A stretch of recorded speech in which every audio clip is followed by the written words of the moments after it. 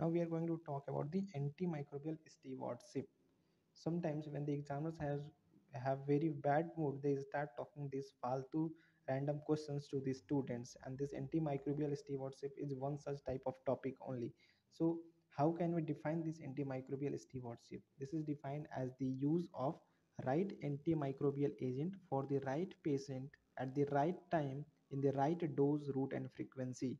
So there are four times right coming in the definition of the antimicrobial stewardship. Please remember this definition very easy.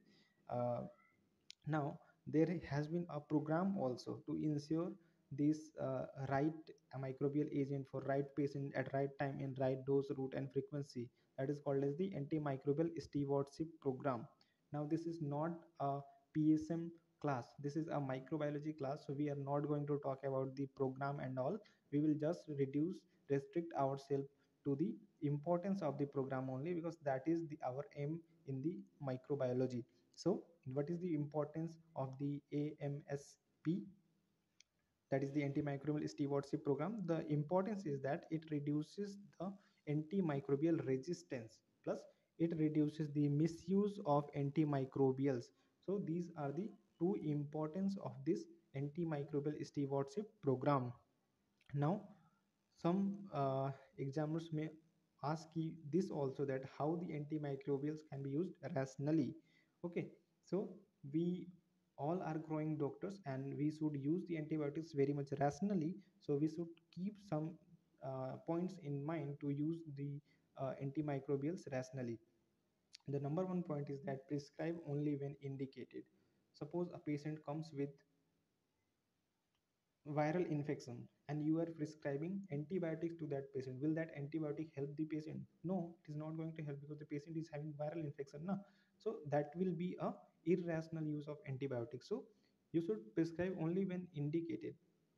Okay that is that is first point of the antimicrobials uh, use uh, in rational way. The second point is the empirical versus target therapy. So how should we give the empirically uh, how should we give the antibiotics empirically and how should we give uh, the target therapy? So target therapy we all know that only after the antimicrobial susceptibility testing the uh, the uh, antibiotics for which that microorganism is susceptible we will use that antibiotics in sufficient dose and amount and then give to the patient. Then the patient will become good uh, and uh, healthy. So uh, and but how do we use the empirical uh, how will we give the antibiotics empirically? For for that you should use the the available data. What is that data? That suppose if someone has got the community acquired pneumonia then you should know what is the most common cause of the community acquired pneumonia and what is the most common uh, uh, uh, antimicrobial or antibiotic uh, agent which should be used in that uh, most common type of or most common cause of the pneumonia. So by knowing that most common causes or, and the most common treatments most useful treatments rather we can uh, institute the empirical treatments to the patients. We can give this empirical treatments to the patients.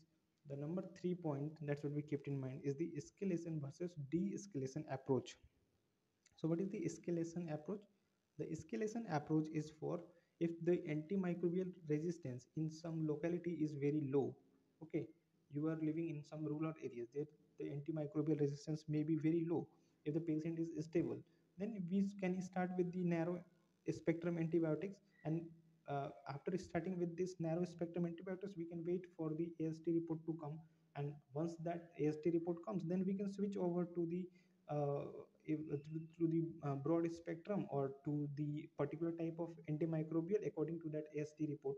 So that that means we are increasing the treatment. We can enhancing the uh, treatment. So this is called as escalation. Okay, and why are doing why are we doing escalation? Because uh, we know that in that locality the antimicrobial resistance is low, or if the patient is very much stable, he can uh, be okay up till the AST report comes.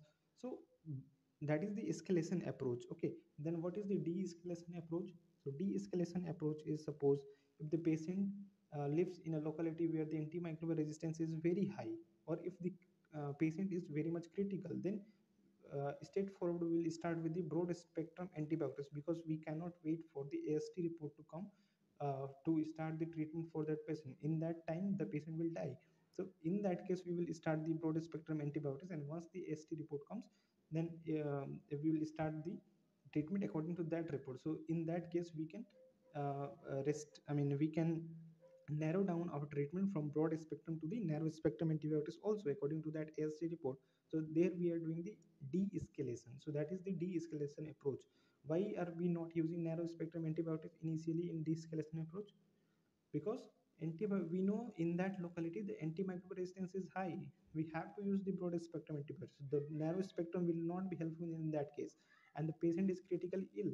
If we use narrow spectrum, the patient may die before the AST report comes so that's the de-escalation approach and then site specific antimicrobials we know certain uh, antimicrobials are uh, much you know uh, uh useful or much uh, active in uh, certain parts of the body like if we talk about the oral antibiotics we cannot use the oral antibiotics in case of meningitis because oral antibiotics cannot penetrate the blood-brain barrier and cannot reach to the csf okay so oral antibiotics are not used Similarly, uh, the uh, fluoroquinolones, they are most common, there is respiratory fluoroquinolones of fluoxetine.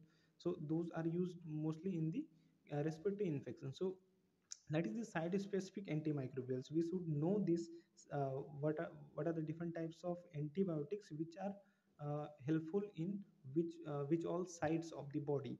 Okay, and depending upon that, we should use the antimicrobials rationally then misuse of antimicrobials suppose you are giving the uh, two uh, i mean you are treating an infection and you are giving uh, two antibiotics of the same class you are giving two beta lactams. Then what is the use of giving that two beta lactams?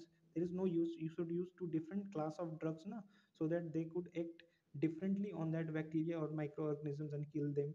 So that is the misuse of antimicrobials. Using same class of drugs uh, two times. You are giving uh, suppose you are giving uh, uh, ampicillin and amoxicillin to the same patient. That is useless. Okay that is the misuse of antimicrobials. Then timely stoppage of antimicrobials the antimicrobials should be stopped timely. Once the patient gets uh, when when the culture becomes negative or uh, if the uh, therapeutic dose has been delivered to the patient okay the uh, duration has been met for which that antimicrobial should be given to the patient. So depending on that it should be timely stopped. It should mean uh, the treatment with the antimicrobial should not be extended. Then prescribing in correct dose route and duration this should also be known to all the doctors. So these are some of the points. By keeping all these points in mind we can use the antimicrobials rationally. Okay. So this is all about this short topic. Not much uh, important from exam point of view but knowing uh, this is better than to leave this question in exams